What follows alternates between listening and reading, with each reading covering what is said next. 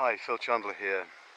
Today I want to talk to you about a particular tree that I have a certain fondness for and that I believe has some application to our beekeeping that maybe not is not obvious and maybe needs a little bit more investigation. The tree in question is the, the birch, the silver birch specifically, uh, Betula pendula is its Latin name. It's a tree that's generally taken for granted a bit in, in this country, I fear. Um, it's, it is definitely a tree of the northern climes. It's very, very common in Scandinavia. I saw forests of the things in, in Norway last year. Um, up here, when I say up here, I mean I'm at, at the moment on the top of a hill uh, on the site or close to the site of an old Iron Age hill fort.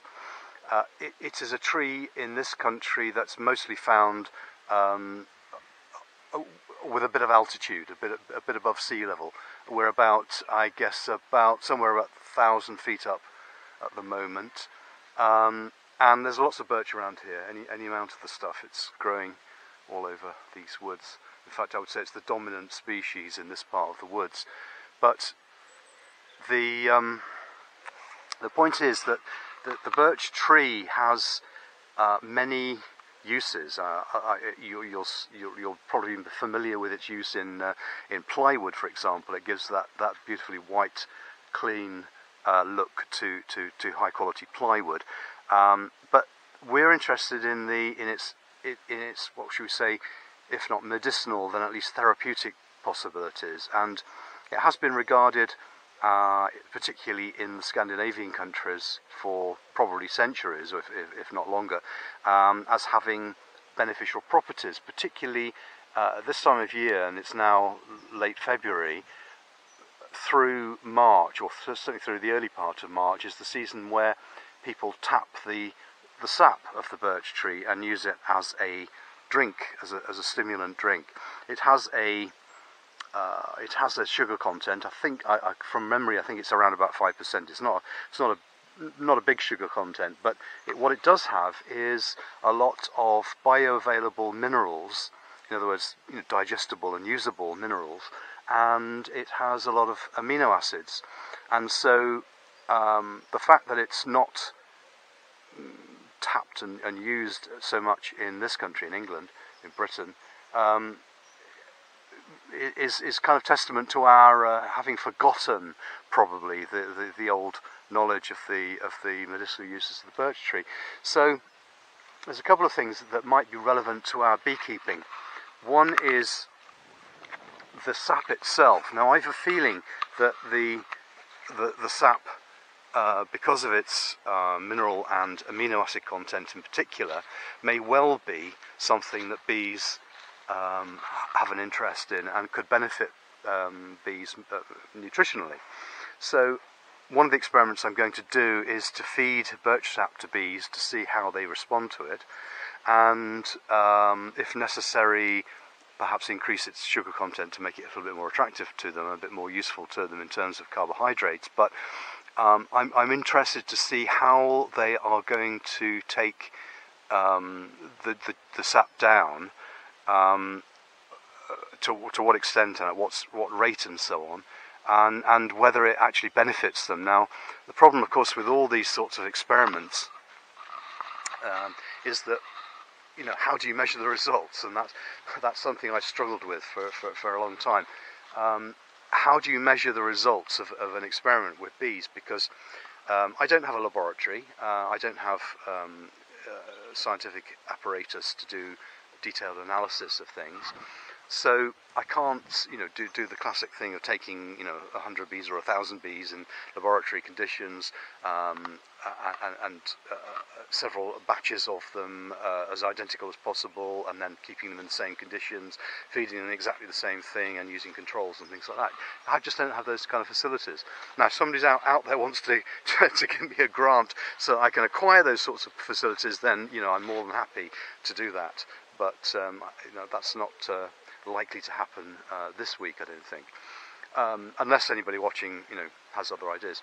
So, what can we do? So, one thing I can test is simply to give uh, the raw birch sap to bees and um, see how they respond to it. You know, do, do they do they uh, are they attracted to it? Are they repelled by it? Are they kind of not very interested in that kind of thing?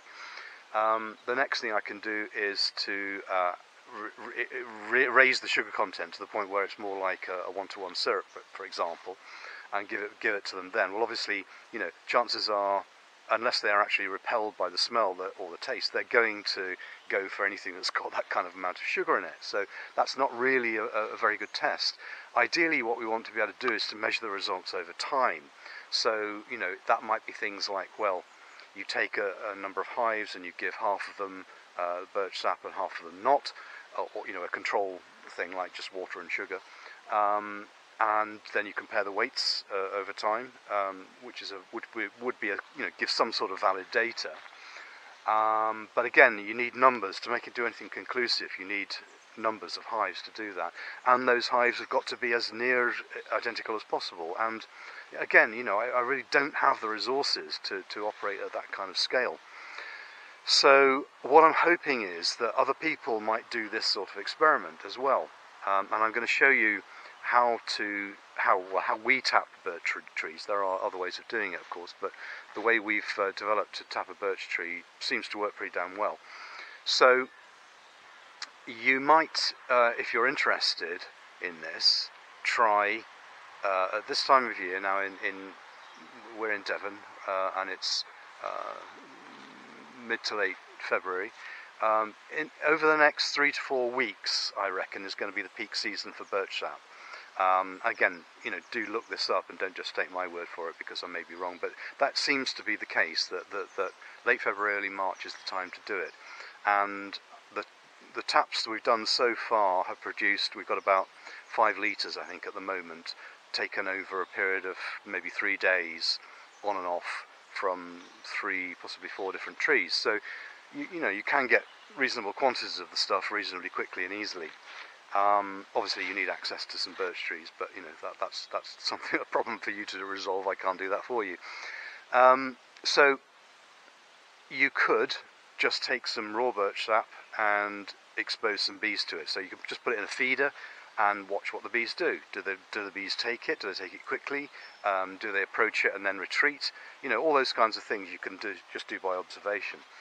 If anybody has the facility to do some actual measurement, uh, and that might mean, hmm, I guess, measuring the weight of the hive um, over a period of time. Also, you know, does it have any effect on the varroa count? Who knows? I don't know. Would it? Could it? Um, what we're trying to do, obviously, is provide nutrition for the bees. We're not trying to provide a chemical that's going to kill anything, uh, hopefully.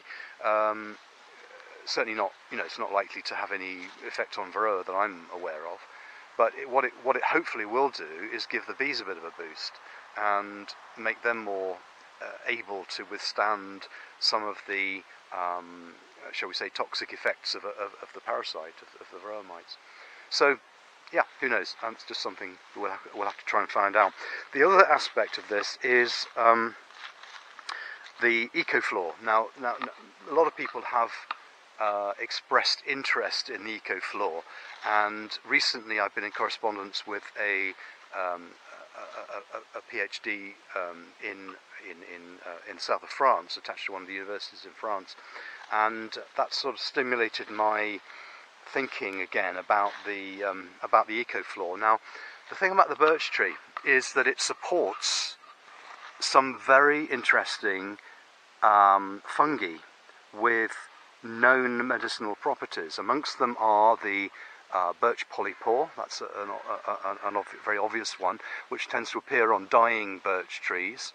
Um, I haven't got any any here. I haven't seen any here within shot, so I can't show you them. But the birch polypore uh, is is quite a a big um, bracket fungus, and it's it's whitish and it has a smooth top, um, and it has pores underneath rather than gills, so it's very easy to recognise, and it grows on birch trees. Um, two more. There's the reishi, which is very well known medicinally and very widely used medicinally, particularly in the Far East. And um, the what's the third one? Oh, chaga, of course, which is um, a, a, another very well known medicinal um, fungus, which is common in the Scandinavian countries. I found it in Norway. Um, I've never found it in this country, but I, I believe it grows in Scotland uh, and possibly northern England. Um, never found it in the West Country. Uh, again, somebody did tell me once that it, that it does exist here, but I, I, honestly don't know. I've never seen it. So those three, uh, chaga, reishi, and uh, the birch polypore, um, they are they all have medicinal properties there. They're, they've, they've been quite um, well researched, I believe, and there are papers that you can read about them and what they can do for you. So now, if this one tree supports um, three of of the most well-known medicinal fungi, um, I think that tree's got you know has got something going for it. Now, people say it's some it's the betulinic acid, which is which is the magic ingredient, and that that may well be the case. I don't know. Um, but so I'm thinking relating to the ecofloor, I'm thinking, well, perhaps if we can put uh, things like birch bark and also more, probably more so, um, birch sawdust uh, as the, or at least part of the the floor material in the eco floor, then that's surely got to be worth exploring. You know, if if, if that tree supports um, those those kinds of of, uh, of medicinal um, fungi, and the sap contains amino acids and minerals, this tree's got a lot going for it compared to, to many. So it's something we need to investigate. So I'm hoping that other people might take this up as well and see what they can do, what see what they can find out. Anyone that's got lab facilities and can do the analyses, anyone that's got you know sufficient numbers of bees that they can do side by side testing, um, you know, I think there's there's stuff to be learned here, and uh, uh, I only wish I had the facilities to do it all myself, but I don't. So anyway, that's it for, for chat. I'm gonna I'm going to now take you over to where we've been tapping a couple of trees, and I'm going to show you how we've done it. So here's the arrangement that we've uh, worked out that works pretty well actually. What I've done is to drill a 16 millimeter hole into the tree about I would say 25 to 30 millimeters deep and I've knocked in um, an oak peg which uh, is nominally 18 millimeters so I've tapered it slightly towards the, uh, uh, the, the tree end as it were and I've drilled a hole which you can probably see of about I don't know 3-4 millimeters clear down the, the centre of the dowel and then what I've done is just drop this bottle over the dowel. Now you'd think, well, okay, you'd think that that's going to fall off, but in fact, um, it, it hasn't. It doesn't fall off. Um, I've tested it, and, and there's actually enough friction, especially as the bottle accumulates sap. Uh, there's enough friction there for that to stay in place rather well. Now, at the bottom of this bottle, you can see there's a little bit of sap that's been. This bottle's been in place maybe half an hour or so. Um, and the, it's actually the drip has actually slowed down considerably since yesterday when I set this up. So I'm thinking that probably the tree um, is uh, hanging onto its sap, and, and uh, maybe maybe they have a way of kind of healing up inside and just closing off the uh, the, the, the, the hole, as it were, that the sap's coming out. But um, this doesn't harm the tree. It's it's practiced widely in the, in in uh, Scandinavia, particularly in Russia, and it doesn't do the tree any harm. And if you don't, if you only leave it on there for a few days at a time, um, the, the, tree's you know not going to be bothered about it at all because the uh, uh, it, can easily take that that little hit of um, uh, of leakage, if you like. So it's a very simple method of doing it. There are other ways of doing it which you can find online, I'm quite sure. I know you can because I've seen them. but this is basically the, the principle. You just have a, uh, a tap and you can see that we've actually drilled it in at an angle so the it's going slightly uphill, obviously, so that the liquid runs down. I mean, that's pretty obvious, really.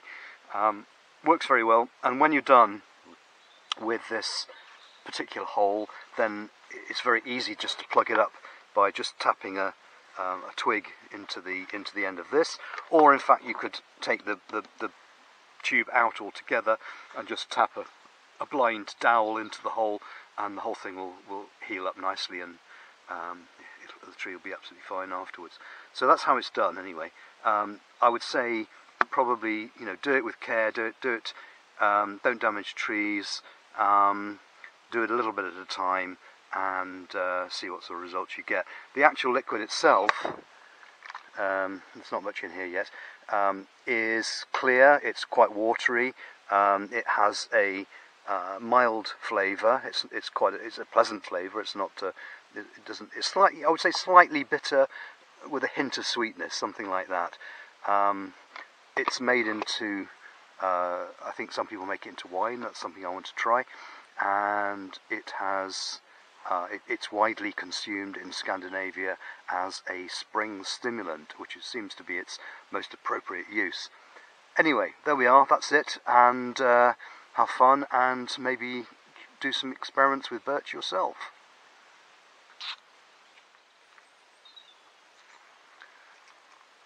Here's an example of the birch polypore growing on a fallen birch tree and you'll often find that there are several growing on the same yeah there's another one. Right there. You'll often find them in, uh, in groups on these old and there's another one an old one under there. So yeah, fallen birch or, or standing birch that's uh, that's nearing the end of its days will often have birch polypore showing.